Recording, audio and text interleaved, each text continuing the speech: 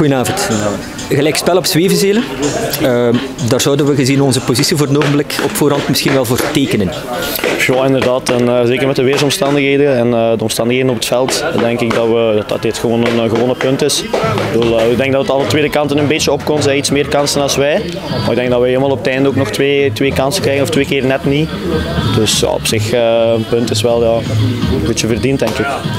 Het doelhoud was bij jou vandaag. Hè? Die mannen denk ik vier keer op de daklat of op de paal getrapt. Ja, dat beetje geluk moet je dan ook hebben.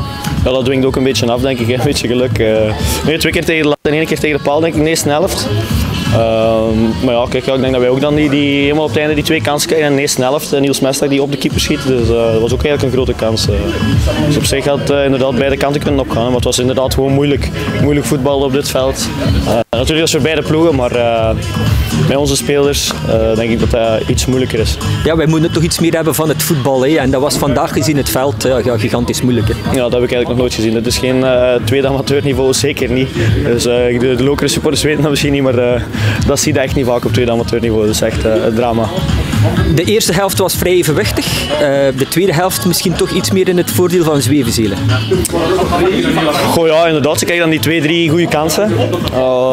ja, ik bedoel, het begint al open te liggen. Wij willen winnen, zij willen winnen. En uh, ja, zij krijgen dan iets meer kansen dan wij. En dan ja, kunnen we misschien concluderen dat het iets meer voor hun was, de tweede helft.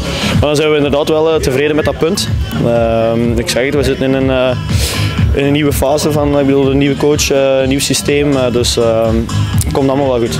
Prima. Het jammer is, we waren met een gameplan naar hier gekomen en ik moest na 10 minuten al wisselen, uh, met spiegelen aan de, aan de tegenpartij eigenlijk, aan, hun manier van spelen. Ja, als je dat moet doen, dan weet je dat je uh, misschien onvoldoende kwaliteit op dit moment hebt om, om op een normale manier er tegen te voetballen. Uh, we kregen geen lopende mensen, uh, nogthans was dat gevraagd. We hadden te weinig balvastheid. En uh, uiteraard door de veldomstandigheden konden we absoluut geen balcirculatie spelen. Dus we zijn afgestapt van, van het normale, waar we al twee weken in trainen, omdat dat in op deze omstandigheden was onmogelijk om te doen. Anderzijds moet ik zeggen dat de driemansverdediging dan achterin het wel heel goed heeft gedaan na de omschakeling. En daar ben ik dan wel tevreden over.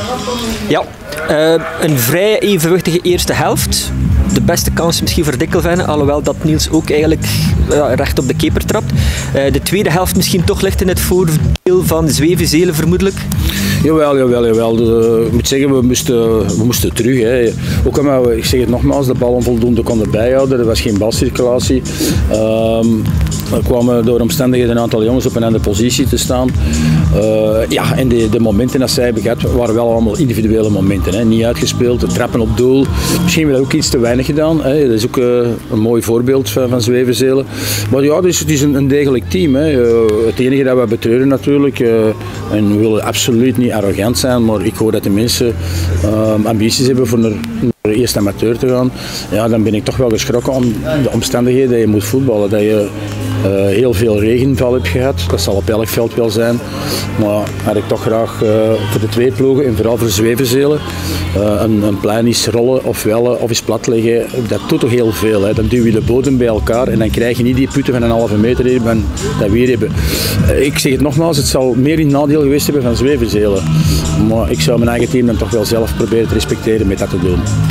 Ja, natuurlijk. We hebben ook meer voetballende spelers. Uh, zij hebben toch iets meer de kracht in het gestalte. Terwijl dat wij toch op ons middenveld toch echt wel die voetballers hebben die dan die actie willen maken en kunnen maken.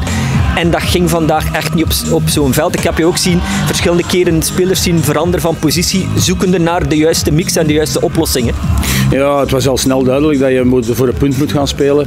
En uh, dat je moet hopen op, op, op 1, 2, 3 ontsnappingen die er ook geweest zijn. En, uh, de match kan heel snel uh, beslissend worden. Maar met name Youssef vond ik vorige week, allez, op Rolse woensdag, vond ik echt zeer goed aan de bal. dat is absoluut Youssef's spel nu niet. Dus dat is de reden dat we vervangen hebben met Preben wat meer kracht in te brengen. Maar ja, we zoeken natuurlijk nog altijd naar, naar wat snelheid voorin, wat explosiviteit, wat, wat, infiltratie. En ik mag schakelen zoveel ik wil. Uh, als dat het type speler niet is en die, op deze moment zijn die er niet, ja, dan moet je zoeken en zoeken en moet je aan je vast bijvoorbeeld aan stilstaande fase. Vandaag hebben we niet een corner gehad, hè, dat zegt al genoeg. Twee corners heb gescoord uh, van de week. Ja, dat zijn natuurlijk. Uh, maar goed, ik heb tegen de jongens ook gezegd, je speelt vier wedstrijden op tien dagen op Zwevenzeel Punt gaan halen, dat was een belangrijk punt. Hè. Nu moeten we verder kijken naar Zeilzaten. Zeker niet makkelijk. Waarom? Omdat de wedstrijd, dat is de derde wedstrijd dan op, hè, op zeven dagen. Hè. Als je dat uh, in INA doet, dan staat hier elke coach van INA op zijn achterste poten. Met dit nog, dat de jongens moeten gewoon werken. Hè. Je moet nog tijd vinden voor te trainen. Je moet nog een gameplan opstellen. Het zal heel kort en snel dag zijn. En, en dan krijgen we er bovenop, als we iets verder gaan kijken, twee dagen later, twee dagen en een half later, nog eens de leider op bezoek. Dus dat is ook zeker niet gunstig uh, gestemd. Uh, wat dat betreft ben ik tevreden met dit punt. Ook, want uh, dat, is, dat is mentaal is dat voor de jongens heel belangrijk, want anders sta je woensdag onder druk tegen Zeilzaten. En nu heeft iedereen het gevoel, oké, we hebben hard gewerkt, we hebben hard voor dat punt gevochten. Op basis van dat is dat verdiend. Uh, omstandigheden waren abnormaal, waren echt niet in ons voordeel. Dus we moeten tevreden stellen en ik denk dat er vandaag echt niet meer in zat. Prima, dankjewel. Steven, goedenavond. Uh, puntje op Zwevenzelen. Tevreden? Goh, eigenlijk wel. Uh, als je ziet, de omstandigheden waren niet ideaal, maar dat is voor beide, beide partijen zo. Uh, we hebben gestreden, we hebben gevochten, we hebben laten zien dat we, dat we vandaag ons niet lieten afslachten. Uh, en er is al een, een, punt gewonnen, zeker en vast. een evenwichtige eerste helft. Tweede helft misschien ligt in het voordeel van, eh, van de thuisploeg. maar gelijk dat zegt, we hebben gevochten voor dat punt en ik denk dat het wel zeker een verdiend punt is. Gezien ook de kansen die we op laatste van de wedstrijd hebben gekregen. Ja, klopt. Je weet dat je zeg maar, een enkele kans gaat krijgen in zo'n wedstrijd. Dan moet je die proberen binnen te prikken. Dat is niet gelukt. Maar aan de andere kant hebben ze ook niet echt uitgesproken kansen gehad. Ik denk uh, een paar keer op de, op de lat, verre afstand schoten. Maar echt uitgesproken kansen waren er niet. En dat is de vriend van, uh, van beide ploegen. Ja. Um, gelijk dat je zegt, het veld was gigantisch waar. Dat is voor beide ploegen. Maar wij zijn natuurlijk een iets meer voetballende ploeg. Wij houden eigenlijk toch wel van betere omstandigheden. Klopt. Uh, ideale omstandigheden waren het niet, maar dat is voor beide partijen. We moeten ons daar niet achter gaan, gaan verschuilen. Ehm, maar het allerbelangrijkste is dat we dat punt binnen. En dat kan eventueel op het einde van het seizoen nog heel belangrijk zijn. De wedstrijden komen snel. Uh, nu woensdag uh, Zelzaten en dan thuis tegen Ninove. Dus uh, ja, vier wedstrijden op tien dagen zeker? Ja, klopt. Dat is moeilijk. Hè. Ja, we zijn geen profs uiteraard. morgen moeten we terug aan de bak en s'avonds trainen. maar daarvoor, daarvoor doen we het. dat is een beetje door de omstandigheden van, van corona. maar we hopen alleszins toch met 4 op 6 de volgende wedstrijden aan te vatten. Super, bedankt. Dankjewel. Hans, goedenavond. 0-0 tegen Sporting Lokeren Temse. Tevreden of eerder teleurgesteld? Eerder als, als je de wedstrijd ziet, eerder teleurgesteld. Ik denk dat we denk vier keer de lat of de paal raken. Dus dan weet je dat je, dat je wel de kansen gekregen hebt over een, uh, om een overwinning thuis te houden. Uh, ja, iedereen heeft gezien dat het niet altijd makkelijk is om hier te voetballen op dit veld. Maar ik denk dat we met het veld zelfs nog redelijk voetbal gebracht hebben. Maar dat is voetbal, je weet, je moet je kansen afmaken. En, en voor hetzelfde geld loop je nog op een tegencounter of op een stilstaande fase en verlies je die wedstrijd nog. Maar ik ben tevreden van, wat ik gezien heb van mijn ploeg. Uh, intensiteit, uh, voetballend vermogen, zelfs op dit veld. Maar het enige wat ontbrak was de drie punten. Punten. Ja.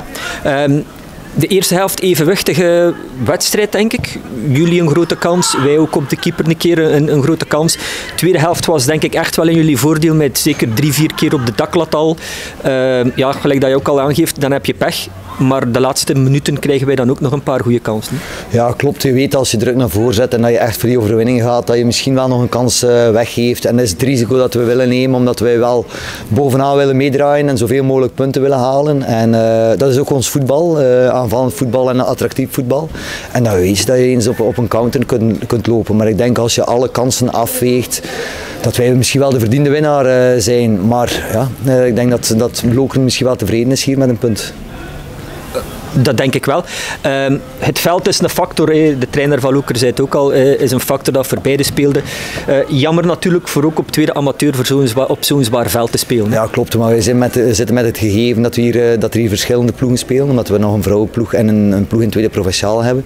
En als we met zo'n weersomstandigheden, en dat was net hetzelfde vorige week, uh, een aantal wedstrijden op zo'n veld, dan is het moeilijk. En, en dan, dan kan je hopen op een kunstgrasveld, maar dan moet de, heel de entourage, gemeente mee moeten mee willen. Ja. En dat is een probleem. En dat brengt ons ook in de problemen omdat we een voetballende ploeg zijn. Ja. En zo laten we in de competitie waarschijnlijk een aantal punten. Ja. Uh, wat is de verdere ambitie voor Zwevenzelen nog dit seizoen? Ja, wij hebben, allez, wij hebben de ploeg en, en de ambitie om mee te strijden tot het laatste tot laatst om, om voor die titel te gaan. En is het niet via de titel, hopelijk via de eindronde. Maar dat is wel een doelstelling. We zijn begonnen aan het seizoen met een, een vrij jonge kern, een, een, mengeling van jong en oud. Ehm, en dat werkt goed met een ander systeem en dat, dat hebben we goed kunnen inslijpen. Maar allee, we moeten proberen zo lang mogelijk en, en op de intensiteit en mentaliteit van vandaag kunnen we verder bouwen, zolang meedraaien bovenaan. Super, bedankt. Alsjeblieft.